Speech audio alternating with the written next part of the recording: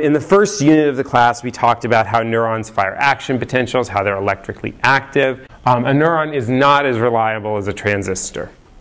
Um, and people debate and wonder about whether that's a good thing or a bad thing. Um, I feel like I have a very rich sensory experience. Is that because I've got a bunch of sloppy neurons, or would I have an even better sensory experience if my neurons were more reliable? Is if you give the same exact stimulus to a sensory neuron two times, one time you might get this pattern of responses, the next time you might get that pattern of responses. Um, there's maybe some common features that occur with some um, regularity across multiple uh, um, um, uh, demonstrations, and that's how we can perceive anything.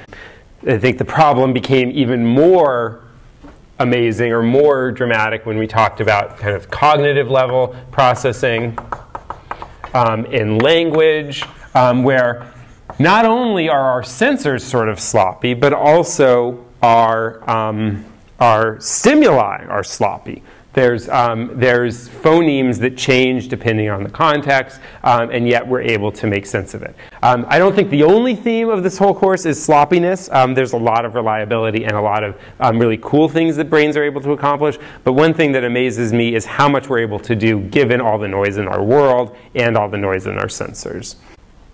Um, where does it all come together, right? So when I um, see this object and it moves in the air.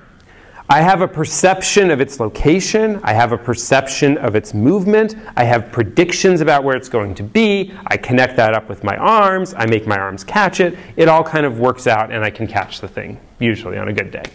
Um, but yet I also, I don't perceive a laser pointer somewhere in the universe and a moving thing like this, I perceive a moving laser pointer. And yet we know in my brain, the laser pointer identification is happening over here, and the, and the, and the, and the where and movement and how to interact with it is happening over here. And yet I perceive those as constant. So does, that, does there need to be somewhere in my brain that that, can, that, that comes together? Kind of a big open question. And also relating back to synaptic transmission and LTP, this reorganization. And then brought these ideas of, um, of sensory processing and sensory organization into the realm of information theory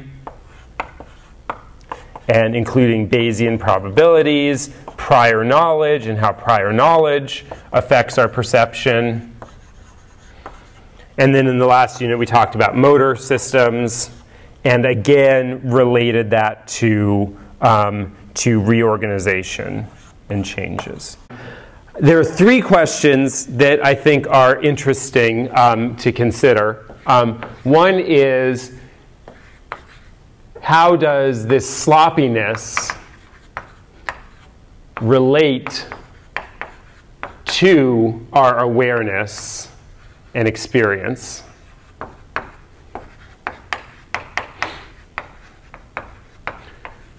Um, question number two would be right over here. Um, does the location and object identification information need to come together? Does there need to be a single place in the brain where those things are processed simultaneously? Or can I, is it possible for me to perceive a laser pointer in this location when the location is in my parietal lobe and the laser pointer is in my temporal lobe? Um, and then the last question um, is, um, is how does the capacity for reorganization affect um, or relate to this awareness and experience. So each of those questions could be an entire semester. Um, for the next 10 minutes, um, I'd just like uh, the, uh, everyone to get into groups and pick one of those questions. Actually, we'll say seven minutes. Um, and just um, pick one of those questions and brainstorm some idea. Interesting. So we have so so maybe maybe our perceptions are a little uh, imperfect, but that comes with an advantage of being able to um, to have uh, again sort of this richer capacity to interact with it. Um, so in what so impactful? What is that like? That it's going to change your brain when you have experiences. Um, part of that kind of echoes um, uh, what uh, what in one of the videos I linked to before, Daniel Wolpert's TED talk about movement. Um, uh, he's sort of movement centric and thinks that the purpose of all things that your brain does is to move is to help you with toward movement and your brain is really just using Bayes' theorem over and over again to classify things and then make decisions about what kind of movements you need to make. So cool, yeah, thanks. That was, that was a fun discussion for me. Hopefully you all enjoyed it.